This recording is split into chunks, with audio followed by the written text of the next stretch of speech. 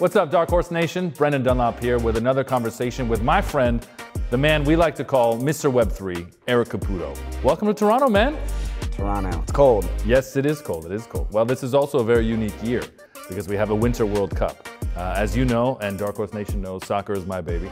Uh, a lot going on around that. And so in this space, naturally, I drifted to the fact that there's a Web3 company that owns a team yes. in real life, not esports, not, not just on FIFA, uh, but Crawley Town, which play in the fourth division in England, uh, their League Two side, are actually owned by a Web3 company who have dubbed themselves the Internet's team.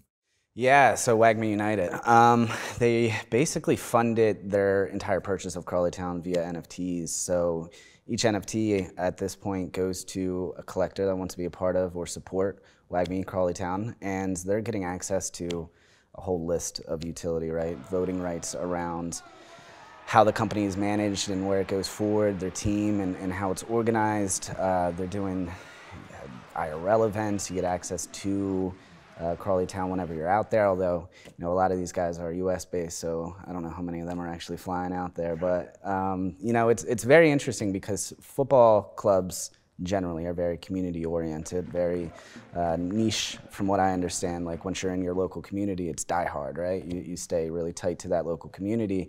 And Web3 is just like equally as community driven and um, owning NFTs and being a part of these clubs and, and these different organizations really kind of tied directly into supporting a sports team, in my opinion. I guess that then soccer was a natural fit for that intersection of Web3 and, and real life sports, right? What do you think made a, a team that's, as I said, playing in the, in the fourth tier um, and owned by this Web3 collective uh, so appealing and so attractive to be the first?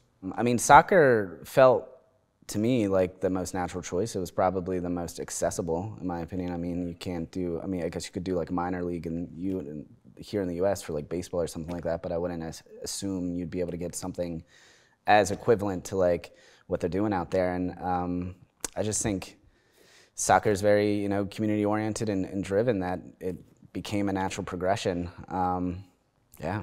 I love that there's so much community involvement, though, as, as you say, and the fact that this, they were, you know, a network uh, and, and, a community that then, as a collective, was able to buy into this club and be very unique in their decision making, and also the fact that they're the first um, soccer team to ever feature an NFT collection on the front of their shirt. Like that's that was a, a big deal in bringing it into this real life space, as everything becomes so token gated, and really um, the weight behind a lot of this is what are you giving me in real life? It doesn't get much bigger than actually having a, a team and a stadium to go uh, a team to cheer on every Saturday. Yeah, right, exactly. And you know, when we talk about community, you all get together and you watch and, and you cheer for the wins, and you, you know you, you're there for the losses. And I think that same with Web three communities and what we're doing. It's you guys are up and, and riding the waves that is what crypto is, and it's the exact same thing in sports now.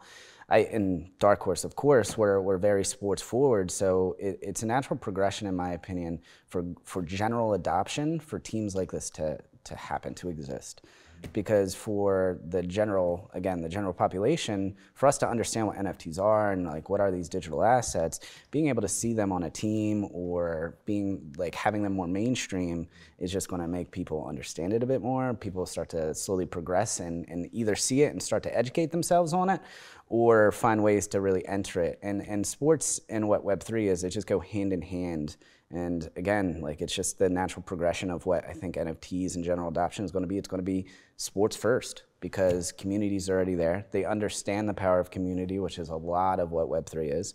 And it's it's an inevitable progression. So WAGMI like to call themselves the internet's team. Anyone watching this that uh, has fallen in love with Wrexham AFC over the last year may argue otherwise. Uh, they certainly get the internet's attention. But I think what makes them so interesting, and the comparison as I listen to you talk about it, is Wrexham was attractive to Rob McElhenney and Ryan Reynolds in the traditional sense of investment.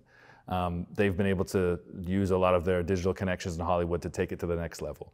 And I think what might be so appealing about Crawley Town, might have been so appealing to WAGMI in the first place, is because of promotion and relegation, every time you go up a tier, you're in a new business sphere and a completely new marketplace. And if you do get to the top tier, the Premier League, they're three divisions away at the moment, playing in the fourth tier in League Two um, the sky is, is really the limit. So I feel like there's a lot of appeal there to just to go through the process and move up the ranks that way. Yeah, I mean, as as an investor in buying the NFT, or why would you buy the NFT? When you look at uh, a football club like Wrexham, right, you can see all of the different revenue models that are included in just owning a football club. So the NFT itself is fantastic, right? You're you're buying an asset. They like to say we're giving the fans a voice in, in terms of voting and, and directing how the how the football club navigates. But at the same time, as you an investor, why would I buy this NFT? Like, what does it do for me? You know, there's so many different projects out there that are just buy the NFT, and then you have secondary sales, and they're really trying to sustain themselves on initial sale and secondary sales. Okay. When you look at why would this be a successful business, is all of the revenue opportunities, all of the revenue models that you see that are or come with owning a football club merch, all of this stuff, and you can compare to Wrexham who's also doing something similar, the inter, quote unquote internet's team. There, I guess they'll battle it out there, but you know, there's a lot of comparisons, and, and when you're investing in NFTs, they're no longer digital assets. You're investing in businesses, and when you take a step back to look at their whole business structure and having all these revenue models, is uh, a good signature that they're more likely to succeed long term, and your investment will pay off. Well, I got a suspicion that if this is successful for Crawley Town, there'll be someone in the States, probably in South Florida, that will feel that uh, you know, the USL in the second division below MLS is the way to, uh, to test this out. So uh, I'm glad that uh, Web3 is officially in, in my space in the beautiful game, man. That's exciting. Yeah, amazing. And I'm, it's an exciting time. Everything's growing, and uh, this is the first of many, for sure.